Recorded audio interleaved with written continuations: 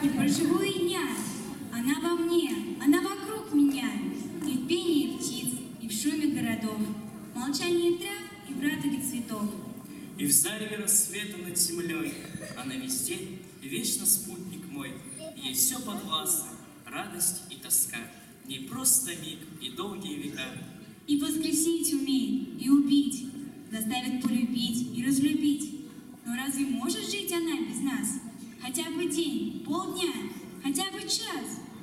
Без наших дум и радостей земных, Без мелочей смешных и несмешных, Мы ей за все спасибо говорим, Веря в торжество ее творим.